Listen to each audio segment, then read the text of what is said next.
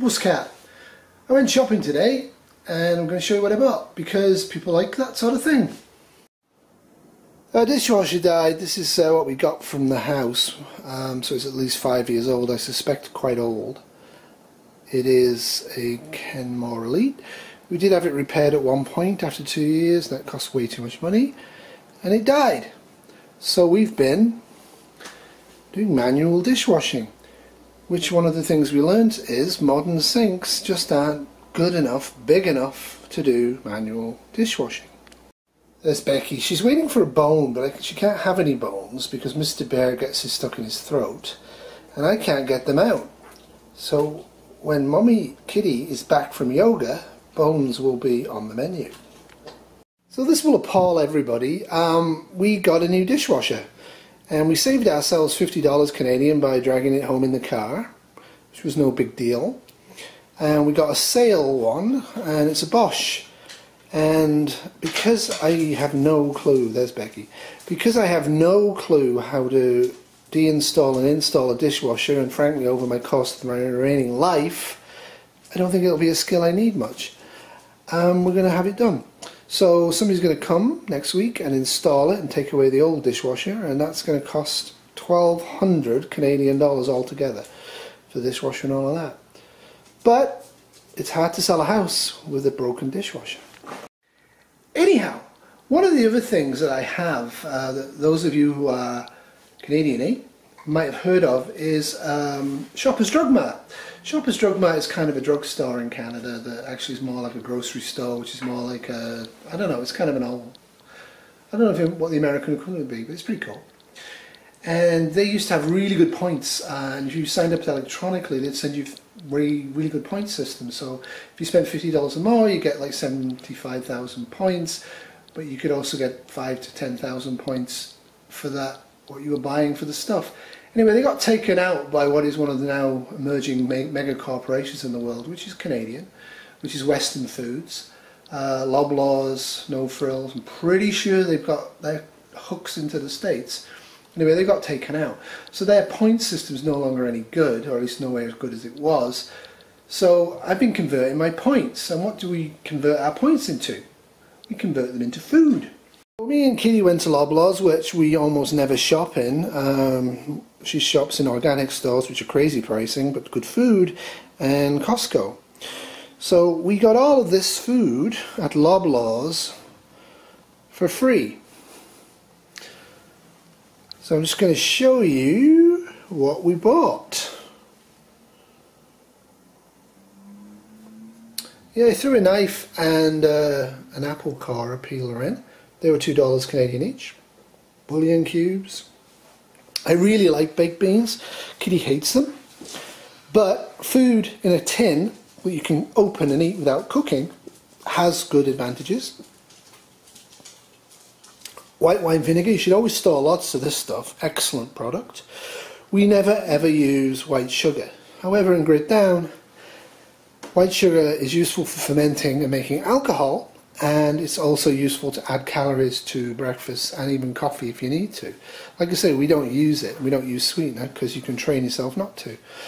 Uh, soup mixes, peas, four bags of lentils, and some navy beans. Of course, you have to get your spices, right?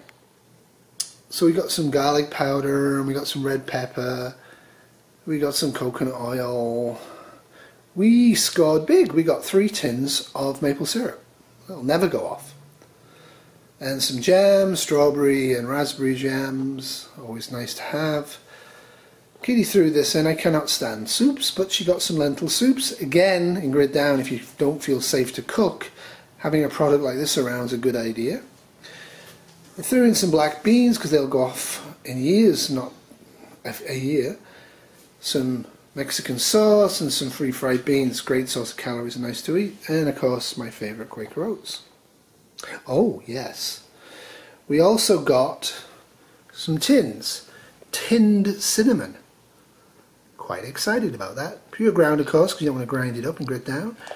I cannot stand mustard, but Kitty loves it. So some dry powdered mustard is always a good idea. If it goes hard and clumpy, just scratch it around and you've got mustard and we got some couscous and quinoa just for variety. And some more fettuccine and some yeast. Now the yeast will probably go off over time so we may have to use more than what you normally would use but I'm fairly sure that in the format that this is in it will last for a long time. Coffee. Throw coffee beans in, they do expire but not really. With Daniel drink anything um, but mostly what I store for long term use is when they're on sale uh, powdered coffee. We do have French press Bodums so that's how we would make it. Boil water, throw the coffee powder in and then pour hot water on. In Canada and North America, for some bizarre reason, you guys like orange pekoe. It's horrible. But in Grid Down, 216 tea bags are going to get reused and reused and reused, and something is better than nothing. So we also popped into Home Hardware and when we bought this place in 2014 the real estate lady who's very nice and she's actually going to come and appraise it for sale this time because she was very very sweet uh, she actually gave us a $100 Home Depot coupon which we've never used so we used part of that and with taxes it came to uh, $61 for five totes and lids now food that doesn't smell too badly that's in mylar and in tins, this stuff will help store it. These are not in any way rodent proof. So one of the things you can do is use metal mylar bags to surround it even if you don't seal them, but generally speaking I'll seal them.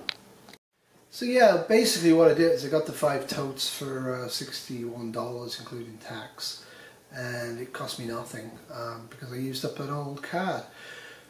And when I was in Shoppers Drug Mart, I was very careful with what I bought, and Nicorette was the main thing I bought there. I did very little shopping there, but I would always get major points by being very careful with what I was buying. So all of the food I showed, actually I found to be very expensive, and so did Kitty. It came to a total of about $340 Canadian.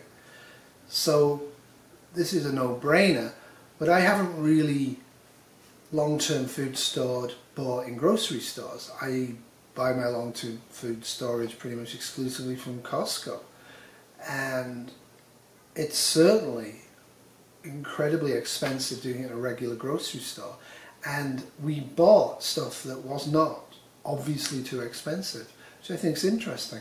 So there you go. Uh, I hope this helped you. If you think there's anything we should add and stuff like that, let me know like I say, I think it's always interesting to see what people are actually storing uh, because we're all unique. Um, hopefully I'm unique. And being vegan means that we tend to buy different types of food. And as I've said before, uh, we would generally tend to buy some tuna and stuff like that. And one of the things I didn't show is I bought eight tins of kippers. Um, because kippers are a good thing to add in small amounts to large amounts of white rice or pasta to, to add a little bit of oil, add a bit of flavouring into the food. And in Grid Down, I certainly would be eating fish and meat if I could get hold of it. Uh, I just believe, fundamentally believe, that you won't be able to get meat as much as you may think you can get meat. And certainly if you are addicted to meat and dairy and you have to have them every day, I think you might be in trouble. There's a lot of people out there that have to have creamers in uh, coffee even though they know they're really bad for them. And that sort of a thing. In Grid Down, you're going to have to compromise your tastes and compromise what is available into what is actually safely and readily available and in large part can last a long time and which is healthy and nutritious. And I think that's the part that people are going to kind of lack on.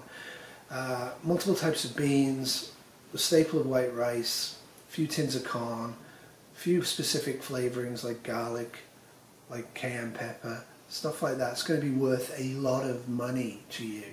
If you have lots of it and can trade it, uh, it's going to be worth a lot to you emotionally and psychologically to be able to eat long-term food that you can cook yourself and make yourself without compromising your security too much. Oh, and that's the other thing why I'm storing white sugar. In Grid Down, we'd be adding small amounts of white sugar to bread um, because it's another way of getting some calories in. You won't be able to cook whenever you feel like it. You can't just take food out of the tin, pour it in a pan, throw it in the microwave, boom, two minutes later, truffling products down your throat. Um, you won't be able to do that in Grid Down. So what you need to be able to do in Grid Down is touch back to the basics. Go back to what people used to eat in the 1900s when stores were largely hardware stores and food largely came in big bags and you bought it by the scoop. That's kind of where we're going to go back to and no matter what happens, if you are dictating your long-term food storage on what you eat and how you eat now, that's a huge error. Yes, you should be doing food stock rotation. I certainly will be eating the beans over time and the refried beans. The kippers and stuff may end up in the dogs and the cats as we run out of food on an occasional basis. The white sugar, the white rice, the flour will never get used. Maybe when we're in our 70s, maybe we'll crank it open if it's not rotting with flies at that point, we'll do it. And yep, so the non-tinned food's going to go in the freezer. I'm going to freeze it for a week. Then I'm going to put it in the original packages in Mylar and then put it in the boxes, store it externally outside. The tinned foods are going to go in boxes and be stored inside and then we'll have to figure out where we're going to store them at the Shire. So yeah, that's a lot of calories, there's a lot of food, but I still think for 340 Canadian, even though it costs me nothing, I, I don't see any value in that. I really do think that Costco's and maybe Walmart, though I would never set foot in a Walmart because they're abhorrent to me, um, possibly really and truthfully is where we should be aiming our uh, grocery shopping for long-term food storage. This was too expensive. Anyway, hope you have a great day. Um, that's all for me today. Waiting for Kitty to come home so Becky and Bear can have the bone. Au revoir. Have a fabulous week.